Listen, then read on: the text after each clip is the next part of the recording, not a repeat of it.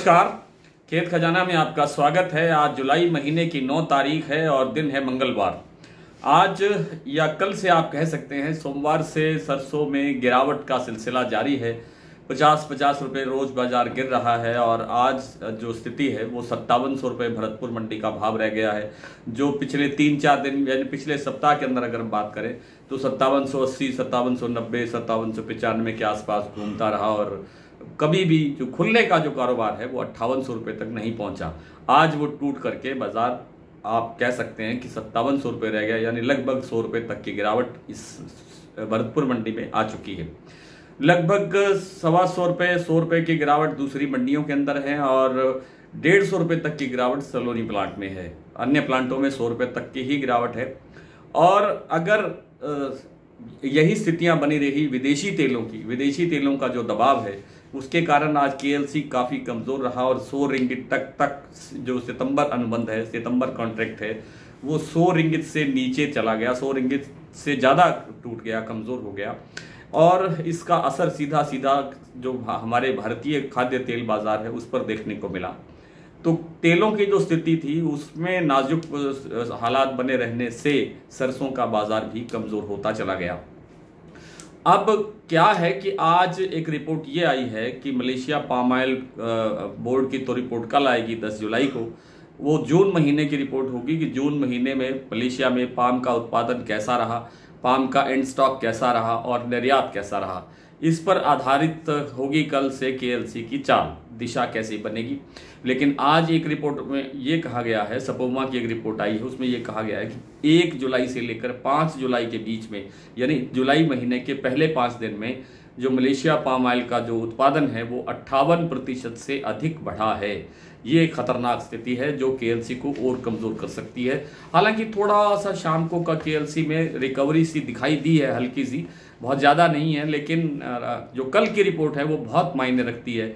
कल अगर उत्पादन जो बढ़ने की या स्टॉक बढ़ने की जो रिपोर्ट आएगी, वो उसमें अगर उम्मीद से, व्यापार की उम्मीद से अगर कम बढ़ता है स्टॉक भी कम बढ़ता है और उत्पादन भी कम बढ़ता है तो के को सहारा मिल सकता है और रिकवरी देखने को मिल सकती है, जिससे बाज़ार थोड़ा सा रिकवर हो सकता है सरसों का बाज़ार भी बहुत ज़्यादा तेज़ी की उम्मीद नहीं है। मैं तीन चार दिन से लगातार आपसे निवेदन कर रहा हूँ। सरसों में इस समय बड़ी तेज़ी की संभावना नहीं है, लेकिन जो बाज़ार टूटा है, इसकी रिकवरी की संभावना ज़रूर है। इसमें आपको दो दिन लग सकते हैं, पाँच दिन लग सकते हैं, लेकिन ये बाज़ार रिकवर होने की स्थिति में अवश्य आ सकता है।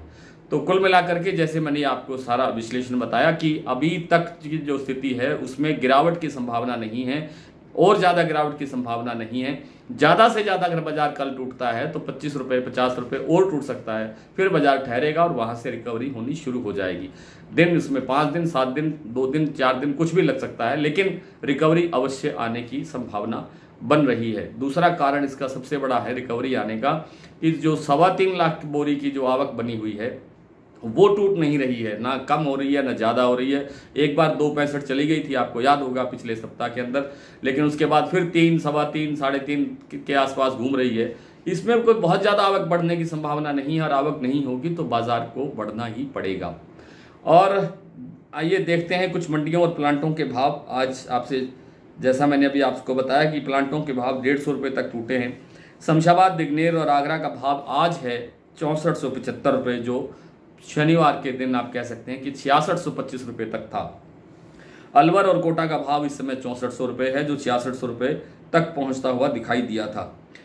भरतपुर का भाव मैं बता चुका हूँ, सत्तावन सौ रुपये है। इस टाइम भी भाव सत्तावन सौ रुपये ही है, इससे कमज़ोर नहीं हुआ है। नड़वई सत्तावन सौ रुपये जयपुर छः हज़ार पचहत्तर चर दिल्ली पाँच हज़ार नौ सौ पचहत्तर, चरखी दादरी पाँच हज़ार नौ सौ पचास, खेरली मंडी सत्तावन सौ पचास, बरवाला छप्पन सौ, हिसार भी छप्पन सौ, मुरैना पचपन सौ, ग्वालियर छप्पन सौ, खैरथल मंडी सत्तावन सौ पचास से सत्तावन सौ पचहत्तर, अलवर अट्ठावन सौ से अट्ठावन सौ पच्चीस, गंगापुर सिटी सत्तावन सौ साठ से सत्तावन सौ सत्तर, टोंक मंडी छप्पन सौ पचपन, निवई मंडी छप्पन सौ पचहत्तर, आदमपुर छप्पन सौ एक, सिरसा सत्तावन सौ इक्कीस, कोटा छप्पन सौ, बीकानेर पचपन सौ और सुमेरपुर मंडी सत्तावन सौ ग्यारह।